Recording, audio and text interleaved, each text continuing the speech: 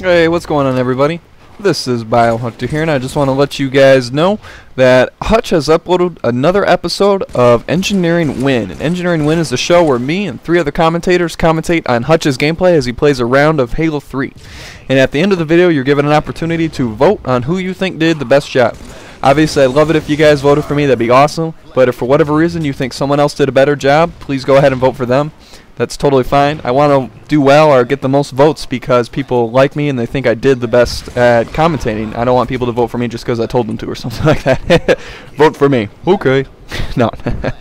and uh, yeah, I think that's the gist of it. So yeah, check out the video, guys. Should be able to click on the screen at any time. See you.